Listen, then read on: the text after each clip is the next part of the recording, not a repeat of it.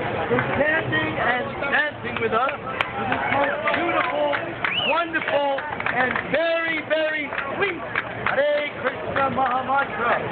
By chanting Hare Krishna, we can become ecstatically happy, realizing our true nature, which is eternal, ever useful, full of complete knowledge, and ever increasing, ever new,